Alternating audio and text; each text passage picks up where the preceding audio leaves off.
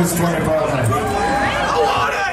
I need it! Jackson, i I'll tell you, the last song we ever played is going to be the first song I wrote. Yeah!